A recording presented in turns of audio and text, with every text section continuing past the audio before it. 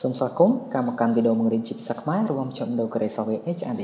ថ្ងៃនេះផងដែរខ្ញុំសូមលើកយកវីដេអូមេរៀនបន្តដែលនិយាយអំពី Materialize CSS មេតិកាដែលយើងនឹងសិក្សាជាមួយគ្នានៅថ្ងៃនេះរួមមាន ការណែនាំអំពី form ការប្រើប្រាស់ input field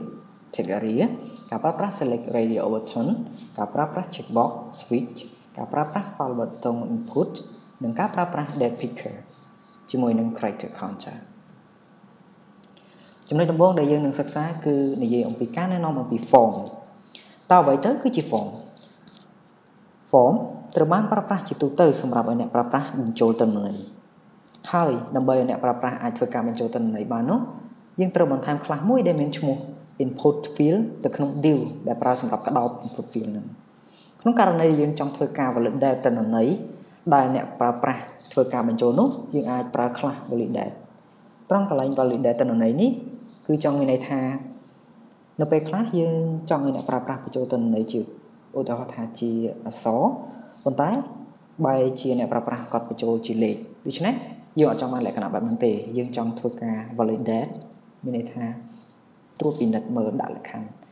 គឺត្រូវតែមានទិន្នន័យដែលយើងចង់បានទើបឲ្យគាត់អាចបញ្ចូលបាននេះគឺជាគំរូខ្លះៗនៃ form របស់យើងដែលយើងបង្កើត form ដើម្បីឲ្យ user គាត់ធ្វើការបញ្ចូលនៅឈ្មោះរបស់គាត់បញ្ចូលទៅ goal ឬក៏យើងបង្កើត form ដើម្បីឲ្យគាត់បញ្ចូល password ឬក៏ email ឯជាដើមហើយនេះគឺជាឧទាហរណ៍នៅក្នុងការបង្កើត form ជាទូទៅដើម្បីបង្កើត form បានយើងត្រូវប្រើ class មួយដែលមានឈ្មោះ form tag form រួចហើយយើងដាក់ class យើងដាក់ row មកហើយយើងមាន input field ហើយ input របស់យើងគឺមានប្រភេទប្រភេទជា text ឬក៏ប្រភេទជាអីផ្សេងផ្សេងទៅតាមការចង់បានរបស់យើងហើយនេះគឺជាឧទាហរណ៍អំពីដែលនិយាយអំពី form របស់យើងអញ្ចឹងដើម្បីប្រើប្រាស់ form បានយើងត្រូវប្រើប្រាស់ text form ដោយយើងអាចកំណត់ call កំណត់ style ឲ្យ form ហ្នឹង ហើយអ្វីដែលសំខាន់គឺយើងត្រូវប្រើប្រាស់ខ្លះមួយដែលមានឈ្មោះថា input field នេះដើម្បីឲ្យ user គាត់អាចធ្វើការបញ្ចូលអញ្ចឹងយើងប្រើប្រាស់ខ្លះ input field ដោយមាន tag input ជាមួយនឹងទៅអាចកំណត់ឲ្យ user គាត់ប្រើប្រាស់បានអញ្ចឹងខ្ញុំនឹងលើកឧទាហរណ៍ហើយនឹង demo code បន្ថែមទៀតដើម្បីឲ្យអ្នកទាំងអស់គ្នាបានយល់កាន់តែច្បាស់នៅក្នុងបន្តិចទៀតនៅក្នុងវីដេអូបន្តិចទៀតនេះបាទអូខេអញ្ចឹងយើងចូលដល់ចំណុចមួយទៀតការប្រើប្រាស់ tag array អញ្ចឹងតើ tag array នេះគេប្រើសម្រាប់ធ្វើអី tag array គឺស្តៀងទៅនឹង input field ដែរប៉ុន្តែខុសត្រង់ថានៅពេលដែលយើងអាចប្រើប្រាស់ tag array នេះគឺអនុញ្ញាតឲ្យអ្នកប្រើប្រាស់គាត់អាចធ្វើការបញ្ចូលអក្សរបានច្រើនជួរដែលអក្សរនោះអាចជាមានលក្ខណៈដូចជាអត្ថបទអីផ្សេងៗជាដើមនេះយើងលើកឧទាហរណ៍នៃ form input ដែលជាប្រភេទ tag array របស់យើងអញ្ចឹង tag array ហ្នឹងគឺយើងអាចបញ្ចូលបានអក្សរជាច្រើនជួរដែលមានលក្ខណៈបែបនេះហើយនេះគឺជា ឧទាហរណ៍គំរូនៅក្នុងនេះយើងដាក់ tag tag array មួយមកហើយអញ្ចឹងទៅនៅក្នុងហ្នឹងគឺយើងអាចឲ្យ user គាត់ធ្វើការបញ្ចូលទិន្នន័យបានច្រើនជួរអីបែបនេះអូខេតោះអញ្ចឹងយើងចូលដល់ចំណុចមួយទៀតគឺការប្រើប្រាស់ select select អនុញ្ញាតឲ្យអ្នកប្រើប្រាស់ជ្រើសរើសនៅទិន្នន័យដែលមានស្រាប់ស្រាប់ដែលជាលក្ខណៈផ្ដល់ជាជំរើសឲ្យអ្នកប្រើប្រាស់ក្នុងការជ្រើសរើសទិន្នន័យដែលមានស្រាប់នោះអញ្ចឹងនេះឧទាហរណ៍យើងមកឧទាហរណ៍ងាយយល់អញ្ចឹងនៅក្នុងនេះយើងមាន3ជំរើសសម្រាប់ឲ្យ user គាត់ ឬក៏អ្នកប្រើប្រាស់ហ្នឹងគាត់ធ្វើការជ្រើសរើសជំរើសរបស់គាត់មួយអញ្ចឹងជំរើសរបស់គាត់ហ្នឹងគាត់អាចជ្រើសរើសជំរើសទី1ទី2ឬក៏ទី3ដែលជាជំរើសមួយគត់ដែលគាត់រើសនៅក្នុងជំរើសដែលគាត់មានស្រាប់នេះអូខេនេះគឺជាកូដឧទាហរណ៍ដែរដើម្បីបង្ហាញត្រុសទោសឲ្យអ្នកទាំងអស់គ្នាបានឃើញយល់ហើយយើងដំបូងឡើយយើងត្រូវដាក់ class input ដូចគ្នាហើយនៅក្នុងនោះយើងត្រូវប្រើ text select នៅក្នុងនោះយើងមាន option value បែបនេះអូ ខេហើយយើងនឹងបន្តនៅក្នុងវីដេអូបន្តទៀតនេះតម្រងអឺ style មួយទៀតមួយបែបទៀតនៃការប្រើប្រាស់ form ដែលយើងប្រើ selection ក្នុងការជ្រើសរើសបាទអូខេនេះគឺជាកូដគំរូនេះមកប្រភេទទៀតហើយបាទតោះអញ្ចឹងយើងចូលដល់ចំណុចមួយទៀតការប្រើប្រាស់ radio button radio button គឺប្រើសម្រាប់ផ្ដល់នៅជំរើសជាក់លាក់ណាមួយទៅឲ្យអ្នកប្រើប្រាស់រើសក្នុងចំណោមចាប់ពី2ឡើងទៅបាទអញ្ចឹងនៅក្នុងនេះគឺស្តៀងទៅនឹង select របស់យើងមិញដែរមានន័យថាយើងឲ្យគាត់ធ្វើការជ្រើសរើសនៅជំរើសមួយដែលក្នុងចំណោមហ្នឹងយើងមានជំរើសច្រើនហើយគាត់អញ្ចឹងគាត់អាចរើសបានតែមួយឧទាហរណ៍ដូចក្នុងនេះអញ្ចឹងយើងមាន color red yellow green brown អញ្ចឹងទៅអញ្ចឹងតើគាត់ពេញចិត្ត form ឯណាអញ្ចឹងយើងអាចអនុញ្ញាតឲ្យគាត់ធ្វើការជ្រើសរើសបាននេះគឺជាឧទាហរណ៍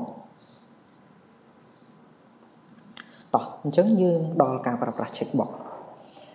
check box របស់យើងនេះគឺយើងប្រើជាលក្ខណៈសំណួរ yes ឬ no អញ្ចឹងគាត់អាចឆ្លើយនៅក្នុងហ្នឹងឧទាហរណ៍របស់យើងតើគាត់ចង់បាន ចម្លើយមួយណា yes ឬក៏ no អញ្ចឹងគាត់ចង់បាន take បើប៉ិតគាត់ take បើមិនប៉ិតទេគាត់អត់ take អូខេកូនឧទាហរណ៍អូខេតោះយើងដល់ switch ម្ដងនេះគឺជាតម្រងនៃការប្រើប្រាស់ switch ដែលមានតម្លៃ2មានន័យថា true or false off or on ប៉ិតឬមិនប៉ិតបិទឬបើកអូ ខេនេះគឺជាឧទាហរណ៍នៃការប្រើប្រាស់ switch យើងដល់មួយចំណុចទៀតគឺការប្រើប្រាស់ file input អញ្ចឹងខាងក្រោមនេះគឺជាឧទាហរណ៍គំរូខ្លះខ្លះរបស់តម្រង file input របស់យើងយើងអាចមានន័យថាឲ្យ user ក៏អាច click នៅលើហ្នឹងហើយយើងអាចឲ្យគាត់បញ្ចូល file file ចូលទៅក្នុង form input របស់យើងហើយនេះគឺជាឧទាហរណ៍គាត់ឧទាហរណ៍ត្រួសត្រាស អូខេនេះគឺ file input ដែរប៉ុន្តែគាត់ថាយើងអាចដាក់ style មានអក្សរនេះលើនេះដើម្បីគាត់ងាយស្រួលមើលតោះយើងដល់ចំណុចមួយទៀតគឺការប្រើប្រាស់ date picker date picker អញ្ចឹងគេប្រើប្រាស់ date picker នេះដើម្បីឲ្យអ្នកប្រើប្រាស់ហ្នឹងគាត់អាចធ្វើការបញ្ចូលការបរិច្ឆេទបានដោយងាយស្រួល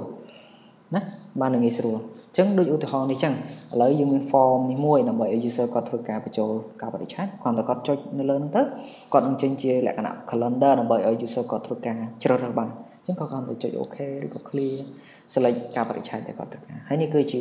code syntax ដែលយើងត្រូវប្រើនៅក្នុង code របស់យើងដោយយើងប្រើ input type check ហើយយើងប្រើ class that picker នេះ time picker มันខុសគ្នាទេស្តៀងទៅនឹង that picker ដែរដោយយើងគ្រាន់តែវាមានលក្ខណៈដើម្បីឲ្យ user គាត់ធ្វើការបញ្ចូលជាម៉ោងម្ដងចំពោះ that picker យើងអាចឲ្យ user គាត់ធ្វើការជ្រើសរើសនៅការបរិច្ឆេទជាថ្ងៃជាខែជាឆ្នាំហើយឥឡូវរីឯ time picker នេះដើម្បីឲ្យ user គាត់ធ្វើការ